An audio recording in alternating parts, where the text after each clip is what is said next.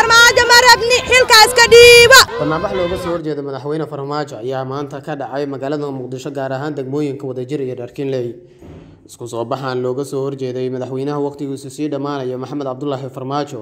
Ayaa dadku waxay wateen boorar ay ku qoran yihiin hal kudhigyo looga soo horjeedo madaxweynaha waa kuwan qaar ka mid ah dadkii banaanbaxyada dhigayay oo warbaahinta la hadlay. Waxaan codsanaynaa inuu kursiga dagaal dooni mayno inuu dalka iskaga baxo si degdegan uga tago ayaa maanta mudaaharaadkeenu maanta uu ka soconaya. Soomaaliya ha noolaato! Keligii taliya ha dhaco ma doonaya soomaaliya! Soomaaliya!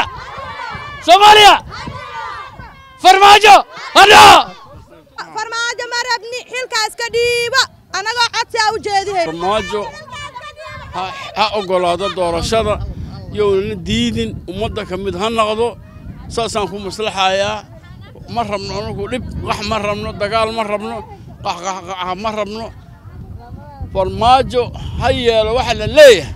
Dhinaca kale ciidamo ka tirsan dowladda oo banaanbaxa goobta uu ka socday tegay ayaa waxa ay kala ceyriyeen dadkii isku soo baxa dhigayay waxaana muddooyinkii dambe magaalada muqdisho ka dhacayay banaanbaxyo looga soo horjeedo. Madaxweynaha waqtigiisu sii dhammaanaya ee farmaajo islamarkaana lagu dalbanayay in doorasho xalaal ah waqtigeedana ku dhacda uu qabto. Cabdikariim cali aadan warbaahinta goobjoog magaalada muqdisho